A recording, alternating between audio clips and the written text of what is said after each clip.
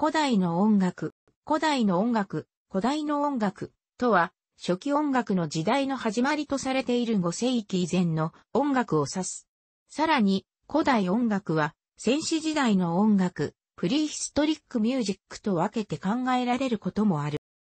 古代の音楽といっても、その言葉で意味される音楽は、種類も地域も様々である。メソポタミア、エジプト、ペルシア、インド、中国、日本、ギリシア、ローマなど。古代音楽は単純な音程と音階という特徴を持ち、交渉、または文字によって伝えられた。音楽の起源は有史以前に遡り、それがどういう風なものだったかその実相は定かではないが、人文史を伝える中国神話には、歌、笛、弦楽器の起こりが記されている。最も古い笛と考えられているものは、1995年、スロベニア芸術科学アカデミーのスロベニア人、古生物学者、イヴァン・トゥルクによって、スロベニアのデイエーベーブ1号窟で発見されたもので、ネンデルタール人の笛として議論されている。これは4万3000年前の中期旧石器時代まで遡ると考えられている。これは中空になった子供の穴熊の大腿骨であり、いくつかの穴が開いていた。これが純粋に楽器なのか、それとも肉食動物が噛んでできた単なる骨なのか、現在も議論が続いている。確実に最古の笛と考えられているものは、ドイツ、ウルム近郊の洞窟から出てきた骨の笛で、約3万6千年前のものであり、現世人類が使用したと考えられている。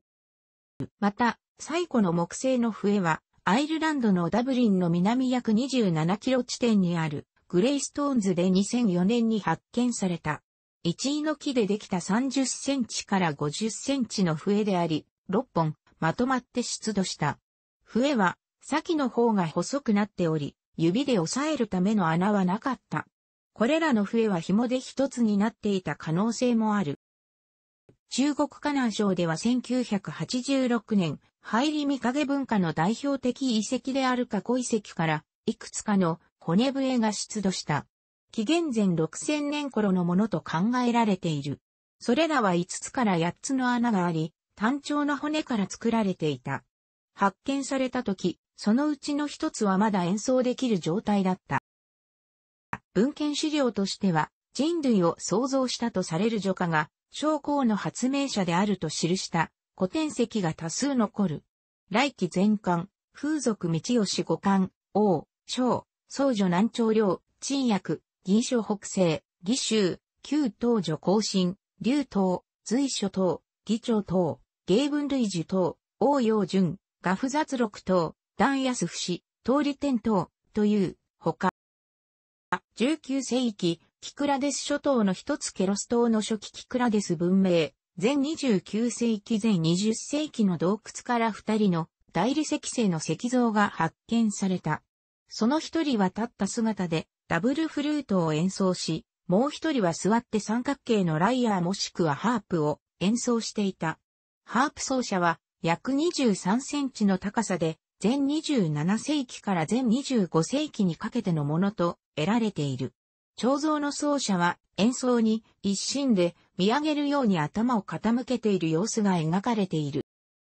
世界最古の歌として知られているものは1950年代のはじめ現在のシリアのウガリットから出土した約3400年前の粘土板にフルリ語で書かれていたものである。粘土板が欠けているため、確実なことはわからない。そのため書かれた文字の解釈は分かれているが、その歌は全音階であったという意見は支持されている。ある解釈ではこの歌は二つのメロディーから成り立っているとし、別の解釈によれば、モノフォニックのメロディーパートとリズムのパートから成り立っているという。文献資料としては、呂子春秋から古学編に、活天使による株の発明が記され、式、芝助行列伝には、活天使の合唱がどんな風であったのか記されている。活天使の士族の歌は千人で合唱して、万人を和し、山を振動させて川を湧き立たせたと記されていることから、人の小金を重ねることで自然界を制御したらしいことが伺える。イランのスーサでは、エラム時代の遺跡から音楽の存在を示す像が出土している。この時代の音楽について詳しいことは分かっていないが、ギター、リュート、フルートなどに似た構造の複数の楽器が使われていた。またバーバトと呼ばれるマンドリンに似た楽器が紀元前8世紀頃考案された。ヘロドトスが記すところによれば、アケメネス朝時代のペルシアで音楽は特に宮殿において重要な役割を持ち、ミスラ神への礼拝などの宗教的祭事の時に非常に重要視された。カリフォルニア大学バークレー校のアンダラフコーン・キルマーがイラクのニップルから出土した紀元前20世紀頃の粘土板を解読した結果、音楽の演奏法が断片的に示されていることが分かった。その音楽は全音階を用い、3度のハーモニーで構成されていた。その粘土板の寄付法は紀元前1250年頃に作られたものとはまた別のものであった。寄付法については議論があるものの、ライアーのチューニングについての指示があり、それは別の粘土板でも言及されているものである。これらの粘土板は断片的だが記録に残る最古のメロディーである。またナブニトゥ、ナブニトゥ創造物の意と呼ばれる複数の粘土板からなる古バビロニア記、前18世紀頃のシュメール語、アッカド語で書かれた百科事典のようなものがウルから出土していい。この百科事典には寄付法について記したものが含まれていた。粘土板の解読は難しいが、分析した結果、楽器は特定できないが、9本の弦とその音程についての記述があった。これら9本の弦は対照的になるように1億2345万4321と番号が振られていた。これらは2つの段落に分かれて記されており、一つはシュメール語で、もう一つはアッカド語で書かれていた。この年度版のコレクションは大英博物館に収蔵されている。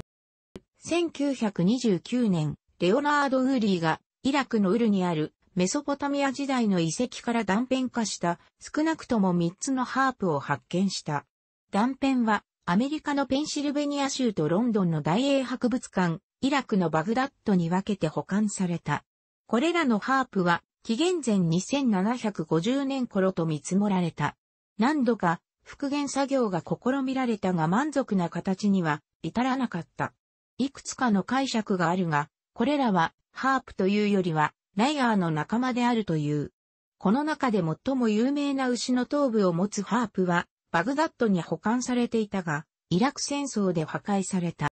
アッシュール・バニパル、前705年前681年は、アッシリアの王であった。彼が治めた、アッシリアの首都ニネベから見つかった、壁画彫刻、ボスリーリフは、ユダヤ都市ラキーッシュの崩壊を描いており、その中にエラムの宮廷楽団が描かれていた。それには7人のライアー奏者とおそらくダルシマー奏者と考えられるものが1人含まれている。そのライアーは7本の弦を持っていた。完全なハープの形をしたものは、前12世紀頃、ラメセス3世の時代の壁画に描かれたものがある。ハープ奏者の墓と呼ばれている壁画彫刻には2人の盲目の奏者が描かれている。古代ギリシアの音楽家たちは彼ら独自の体系的な音楽記法のシステムを持っていた。このシステムはギリシアの音楽家たちに広く使われたわけではないが、それでも古代ギリシア、ローマから少なくない量の音楽的資料が今日に伝えられている。ホメーロスの女児詩はもともと楽器の伴奏とともに朗唱されたが、それが一体どんなメロディーだったのかは伝わっていない。しかし古代ギリシア時代の完全な形の音楽が残存している。聖キロスの墓悲鳴は最古の完全な楽曲の一つであり、クレタ島の作曲家、メソメデス、2世紀による3つの完全な形の参加が残っている。他には断片的であるが古代ギリシアの音楽が伝えられており、それらは悲劇、エウリピデスの演劇オレステースのためのコロス、コーラス、ソフォクレスのアヤコスから器楽曲などである。ローマ人は彼ら自身の音楽表記法を持たなかったが、いくらかのローマ人はギリシアのシステムを学んだようである。古代の音楽はいつもモノフォニックだったと考えられていたが、古代ギリシアの音楽のいくつかの断片、例えばオレステースのものからははっきりと一つ以上の音が同時に鳴らされるように刺されている。また壁画や壺などにはダブルパイプというバグパイプのようなものが書かれている。加えてギリシアの書物、例えばアリストテレスのものには当時の音楽のテクニックについての及びがあり、ハーモニー、和音も存在していた。アウロスと呼ばれるダブルリードの楽器は他のものが死を漏唱している間ドローン、変化せず持続する音、もしくは主音として使用されたと考えられている。中国には古くより楽という概念があった。これは今日の音楽が有する娯楽、芸術的要素よりも政治、道徳、倫理的観点が重要視された。儒家、道家、法家など諸子百科によってそれぞれの楽論があったが、後世に最も影響を与えたのは、儒家、儒教の楽論である。来記や皇居によれば、楽とは本来人の心から発した生成を込めた真心の表現手段であり、王者は楽を、おさむ上の具、旧当時音楽史、一として人民の内的心情に訴えること精神を統制、改造して王者の強権に従わせるためのものであり、外的規制である霊と組み合わせられて、霊学とも呼ばれた。孔子は霊学を重要視して学系を編纂したが、学系のみが早くに散逸して伝われなかったために、6つあったとされる儒教の経典は、今日の五教になってしまったという。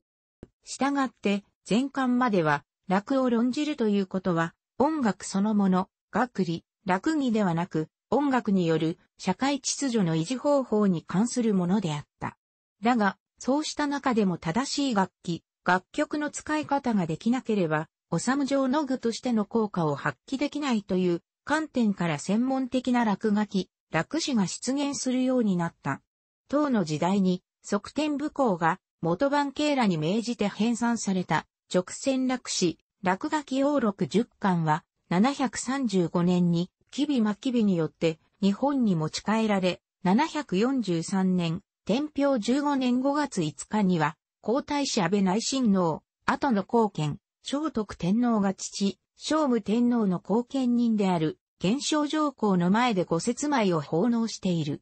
これは、日本の歴史上唯一の女性皇太子であった、安倍内親王が自ら霊学の主導者すは次の王者であることを内外に明らかにする儀式であった。このように、中国の霊学は、周辺諸国でも、おさむ状の具として採用され、雅楽などの形で、それぞれの国の音楽に取り入れられることになった。日本の雅楽も、この正しい行いと正しい音楽は、相応するという儒教の霊学思想、正しい音楽は平和を維持し、乱れた音楽は乱世を招き国が滅びるとされ、正しい音律や音楽の維持管理が皇帝の重要な任務の一つとされたに基づくと言われる。楽しくご覧になりましたら、購読と良いです。クリックしてください。